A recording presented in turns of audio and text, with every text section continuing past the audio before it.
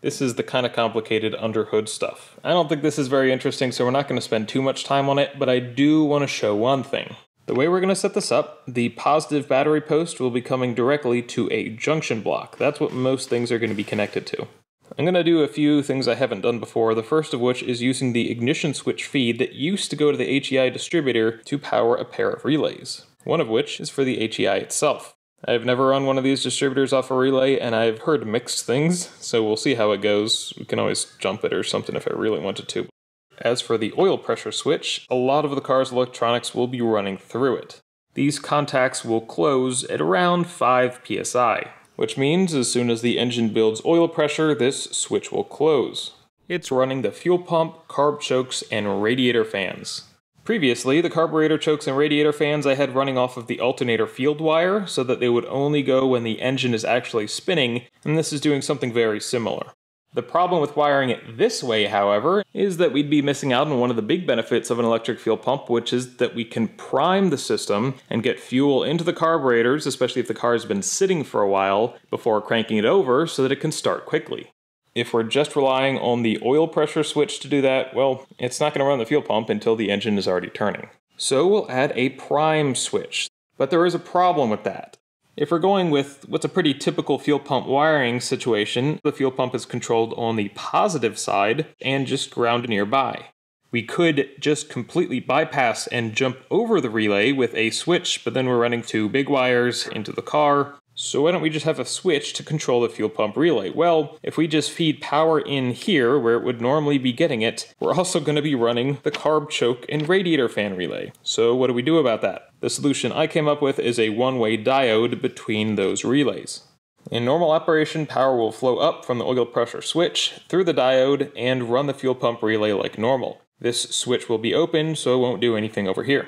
But if we want to manually run the fuel pump, we can toggle this switch, connect it to a power feed that we're already going to have in the car for the gauges, and that current will travel to ground through the relay, closing it.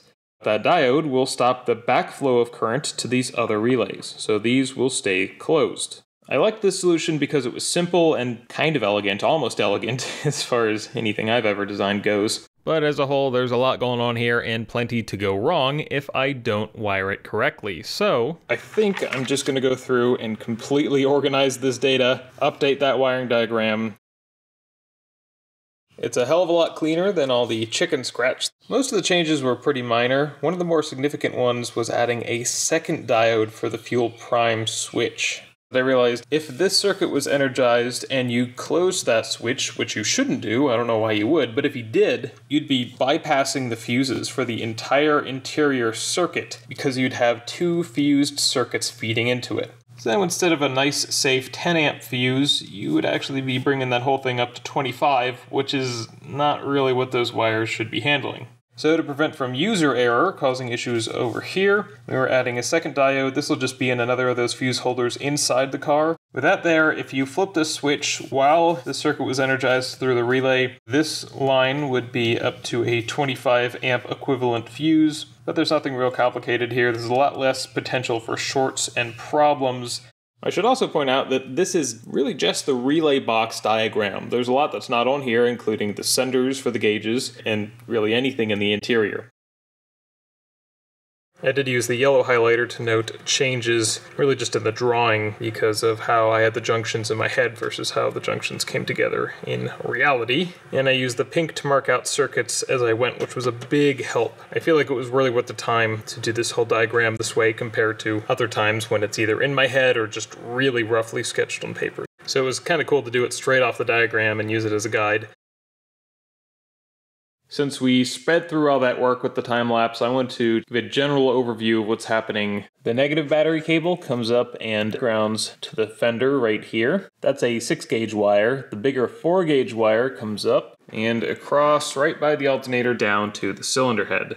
We've also got an engine to body ground going from that stud we installed in the firewall down to the rear of the cylinder head kind of forgot about this guy. There's a ground wire between the transmission bell housing and the body here. I just added another little jumper down to the frame to make sure the frame is also grounded. On the positive side of the battery, we have the one gauge coming down that's routed back to the starter. The 6 gauge wire comes up here to the alternator. And yes, I did the kind of redneck thing and wired a 3 wire alternator as a 2 by connecting the voltage sense directly to the outpost stud. Essentially, that wire is meant to sense an accurate voltage, and when it's remote mounted, in this car, the best spot for it would probably be out here at the junction stud. There can be some voltage drop over the wires, and that gives it a more useful voltage reading, so it'll put out a little bit more power a little bit sooner. But really, there's not a huge load on this car. All the other wires feeding everything are pretty big and not all that long, so there shouldn't be a huge amount of voltage drop. Mounted to the inner fender here, of course, is our fuse and relay block. There's a main feed wire that passes underneath and comes all the way up here to the junction block.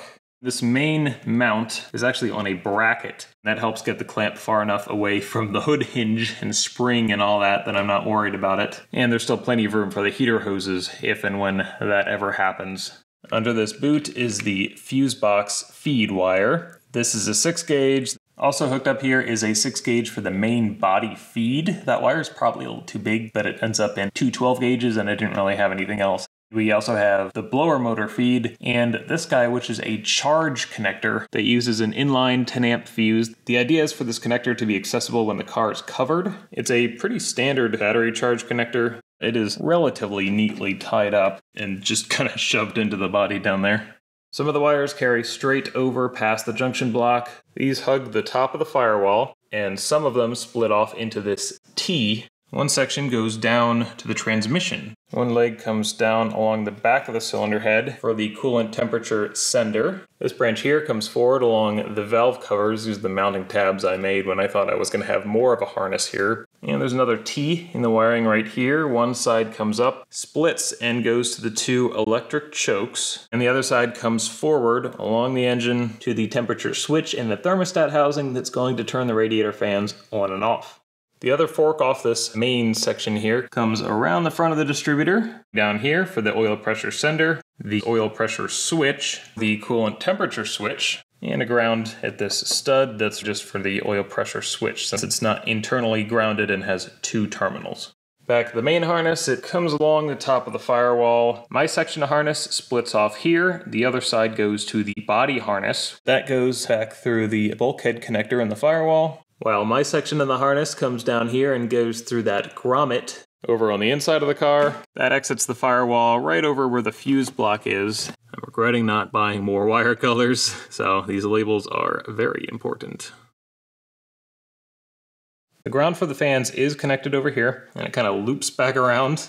I was able to drill a quarter inch hole, and uh, that worked really well for zip tying the wire. Typically I would put this wire around the bottom, really just to keep it out of sight, but in this case, that lower blower pulley comes so far out, I didn't really want to get in the way of it because that's the only way to get this belt on and off. That's all looking good, and it'll probably work. We started out here, moved on to this, and finally, this is pretty much what the car looks like today. The ignition system is still running off of a relay, but it is no longer powered by the oil pressure switch. Now this diagram has a note here, indicator wires not appropriately fused, which is a reminder to myself that I decided to ignore a potential problem. The radiator fan indicator is after the relay. That little indicator light and its 18 gauge wire is being fed by a 20 amp fuse. This isn't super likely to cause a problem, but I do wish I had done something about it at the time, even if it was just some inline fuses, and I may end up going back and adding those somewhere down the line. We've also got the second part of the note, interior prime diode not installed, which is because I just straight up forgot to put that guy in. It was an all-night wiring session, and yeah, I just totally slipped my mind. And that's, uh, well, that's pretty much it. Pretty straightforward, right? No? I don't know about you guys, but I feel like I did a fantastic job of complicating this whole thing to an incredible degree. And I can't wait for the part where it bursts into flames because I hooked one thing up wrong.